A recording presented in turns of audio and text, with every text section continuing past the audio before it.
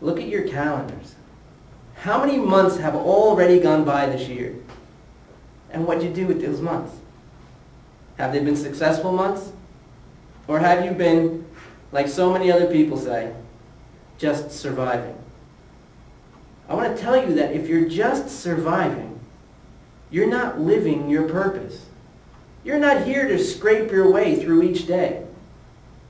Inside, you can feel your spirit screaming for you to break out of this rut and live your life in alignment with your purpose. You're not here to just survive. You're here to thrive. And I want to talk to you today about self-mastery and endless success. And like usual, I'm going to shoot from the hip. I'm not here to entertain, I'm here to help. I'm not here to make friends, I'm here to help. My job, and I felt this uh, for, for all my life, my job is to help people break free. Break free of, of the enslavement of their conditioned thought. Break free from the shackles of their limited thinking. I've been blessed with the tools I need to do this, so this is what I do. So today we'll be talking about self-mastery. I want to start with self-mastery.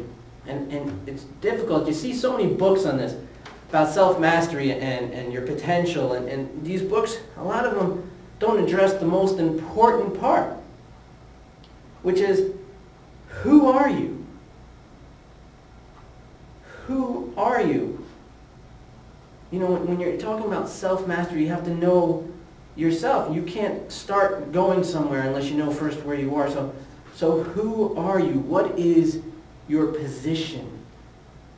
And when I say who are you, I don't mean when, when you associate yourself with what other people label you. Most, most people out there associate themselves with what other people label them. And I, I'm talking about who you are and how you actually go about your life. Who are you? What is your position?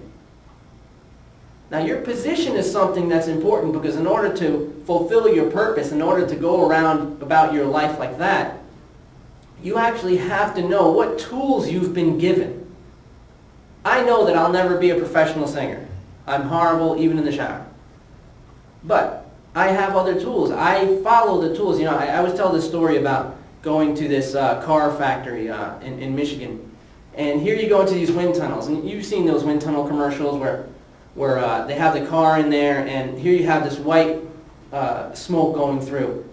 And I'm sitting there with the engineers, and the engineers say to me, you know, what is it, uh, I asked them, what, what is it that you're doing? And they said, well, you know, we're checking the car for, do we want to make it more efficient, faster, and more effective on the road.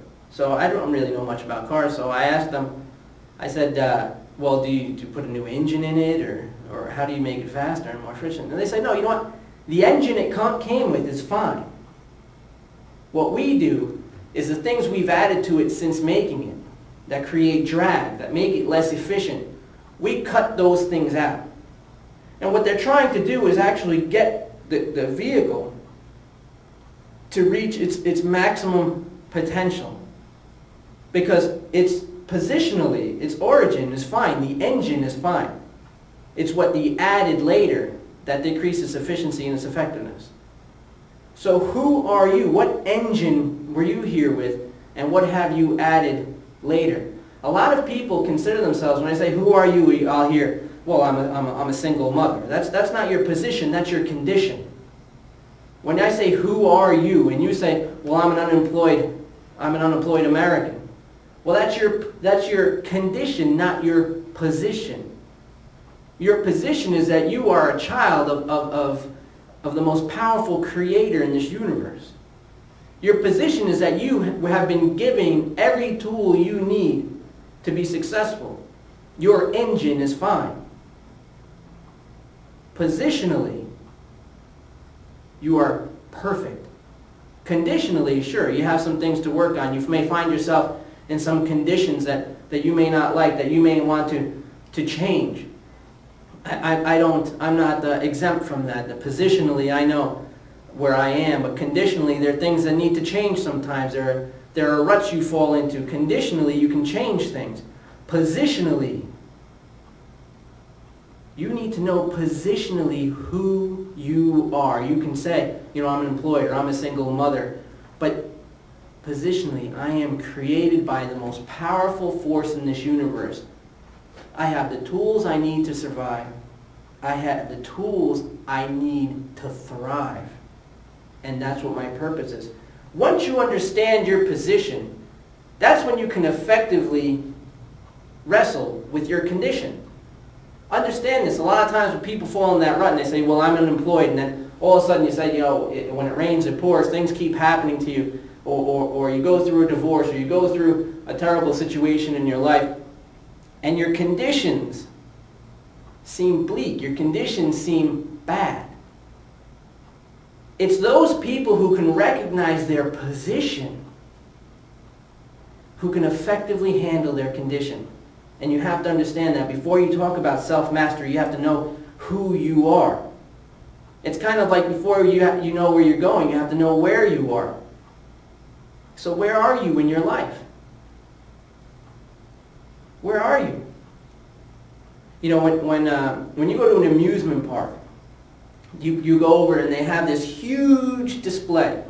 And on this display is, you know, have the log flow and the roller coasters and where you can go buy food and where the restrooms are.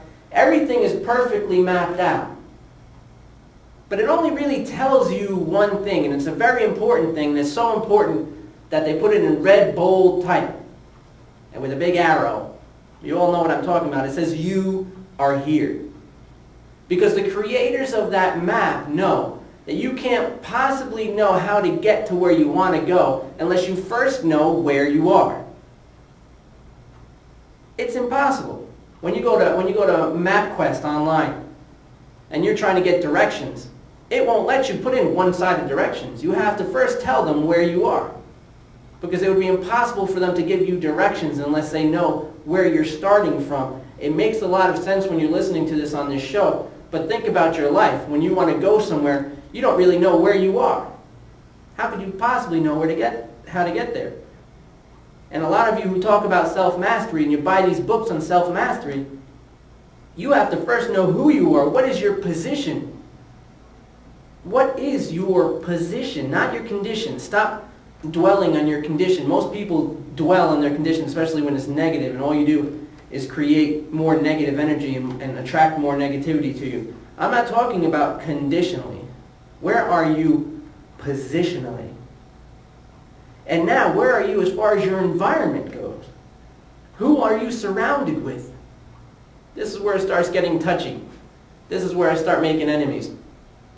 People don't like hearing this, but the truth is, if you hang around with a bunch of chickens, you're going to cluck. If you hang out with eagles, you're going to fly. If you're hanging out with the same group of people who are in the same condition as you, your condition will not change. Stop blaming everything around you when you have planted yourself in soil that produces that condition. The right thing to do and the hard thing to do are usually the same thing, and you need to take responsibility. Remember your position, see the tools you've been given, and transcend, rise above your condition. Because that's what self-mastery is about. Self-mastery is about refining, improving, enhancing. That's what being aligned with this universe is about. The people who thrive, the people we consider successful and happy, what they are is aligned. Aligned with the intent of this universe. Everything around you is evolving, enhancing, improving. Why not you? We're going to talk about that a little bit more when we get back.